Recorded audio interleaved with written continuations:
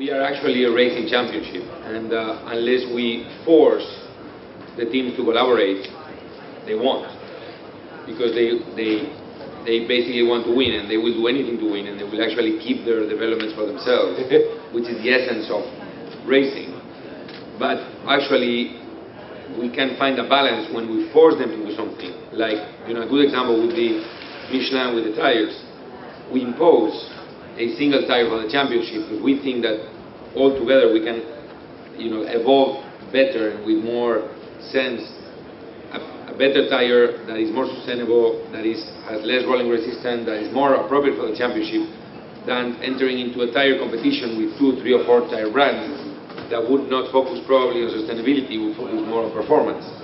We do the same at the moment with the batteries, and we're going to continue doing the same with the batteries. But if you let the teams on their own, I guarantee you, they will not cooperate. Right, right. So we actually need to create those spaces and some of those conditions to encourage, uh, encourage uh, collaboration and people to innovate around the right things. Yes, I wouldn't even call it encourage. I would probably call it force in case of teams. But you know, I'm, I'm a team owner. I mean, a former team owner. You know, one of the frustrations of being a promoter of the championship is that I cannot have my own team, which is what I really like. When I was having my own team in GP2, I was having a lot more fun. But I, I was also only thinking of one thing, Right. which is to win. Right. Okay. And I just want a question to you, uh, Phil, and also Manuela. A huge global company like uh, DHL with a long history.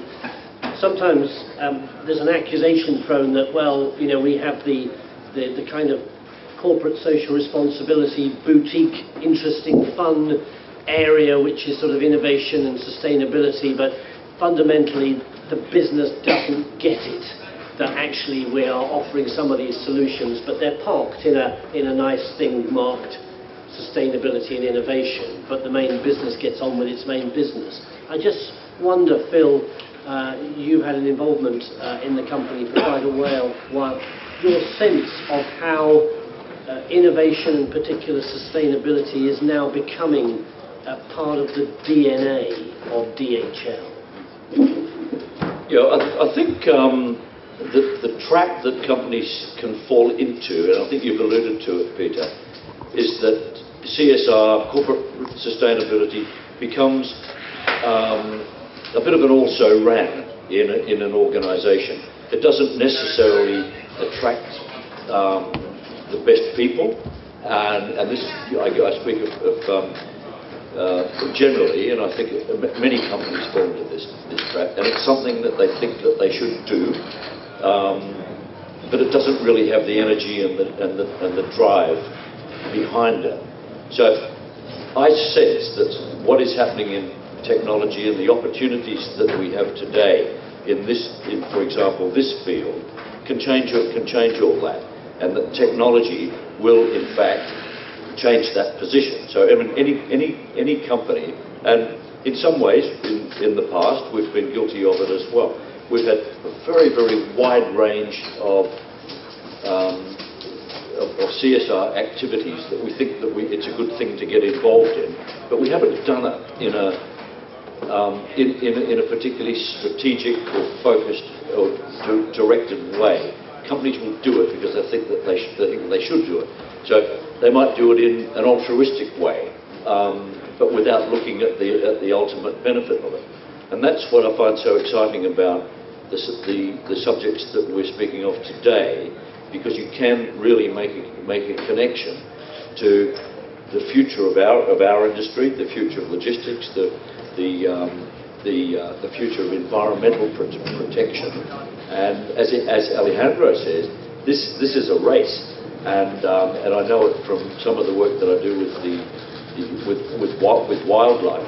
This is, this is a race to save the African wildlife species because it's, it's going, going, gone unless, unless we move on very quickly. And equally, um, other aspects like the, saving the planet through um, mitigating pollution and the sort of things that we're doing with electric and technology are um, so, so important. And, and clearly, awareness has got so much to, to do with it.